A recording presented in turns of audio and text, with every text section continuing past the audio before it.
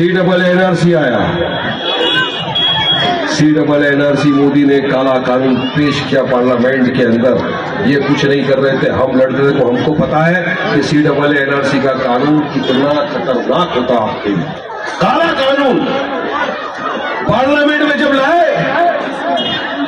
ये थे secular party वाले लोग सब खामोश थे किसी ने कुछ नहीं किया, मगर उस काले कानून को पूरे पार्लियामेंट के बीच में अगर किसी ने पूरा फाड़ के टुकड़े टुकड़े करके फेंक दिया, वो कोई और नहीं था, आपका हमारा सदर पैरिस का सदुद्दीन ओवैसी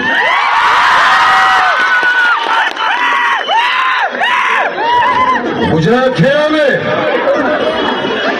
गरबा के टाइम में कुछ बच्चे चले गए, नादान, पत्थर फेंक दिया।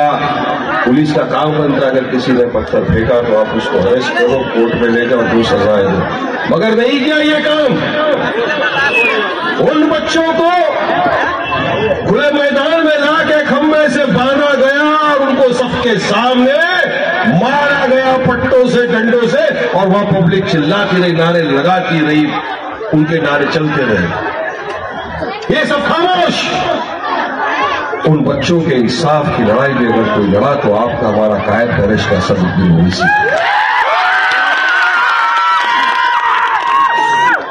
हर बार, जब जब हमारे दलित भाइयों पे, आदिवासी भाइयों पे, ट्राइबल्स पे, मुसलमानों पे, मजलूमों पे अत्याचार हुआ, अगर कोई आवाज़ उठी इनके सपोर्ट में, इनसे साथ कांधे से कांधा अगर कोई मिलाकर खड़ा रहा तो कोई और नहीं था, ये लोग नहीं थे, वो था पैरिस का सदुद्दीन ओवैसी हमारा कायद।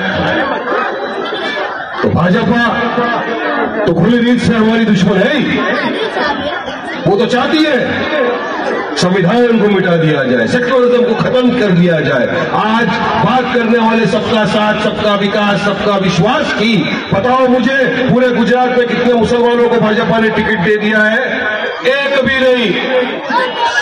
एक भी नहीं दिया। तो क्या मुसलमान इस देश का अहम हिस्सा नहीं?